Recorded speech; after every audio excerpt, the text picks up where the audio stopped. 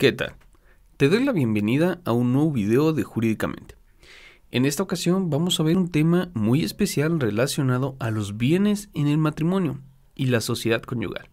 En este video vamos a ver el tema de las capitulaciones matrimoniales, qué son, su utilidad y cómo deben ser estructuradas. Así que, comenzamos. Empecemos como siempre por definir a la figura. ¿Qué son las capitulaciones matrimoniales?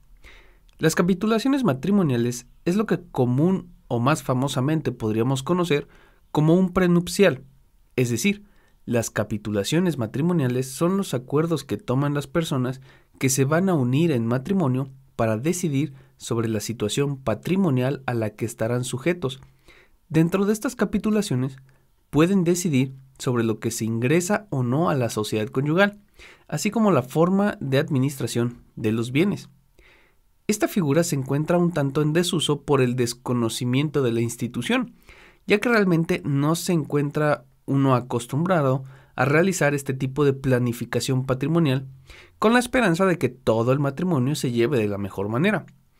Es importante destacar que las capitulaciones se pueden realizar antes de la celebración del matrimonio o ya una vez celebrado este. En las capitulaciones se pueden incluir, si así lo desean los cónyuges, bienes que sean anteriores a la celebración del matrimonio, así como aquellos bienes que normalmente no entrarían a la sociedad conyugal, ya que en este caso se respeta la voluntad de las partes.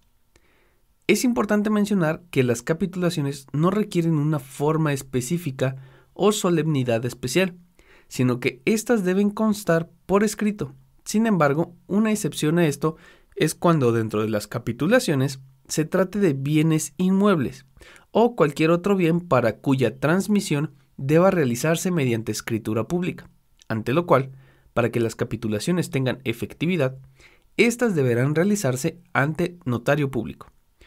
Una vez teniendo estas capitulaciones, al momento de celebrar el matrimonio, se agregará como anexo el documento y constará como anotación marginal que dicho matrimonio se encuentra regido y regulado en su situación patrimonial por capitulaciones, los bienes y forma de administración pueden ser modificados por los cónyuges de forma posterior a haberse casado e incluso ante la existencia de capitulaciones previas, siendo importante mencionar que en el caso de divorcio, estas capitulaciones serán las que se respeten por cuanto a la forma de repartir los bienes o los bienes que deban ser incluidos para la liquidación de una sociedad conyugal, siendo importante también aclarar que las capitulaciones matrimoniales también pueden tener lugar cuando exista separación de bienes.